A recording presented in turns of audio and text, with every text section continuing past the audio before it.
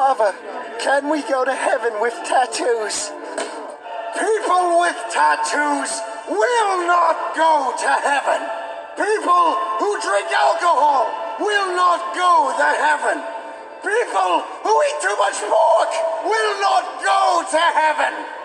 Short people will not go to heaven. So saith the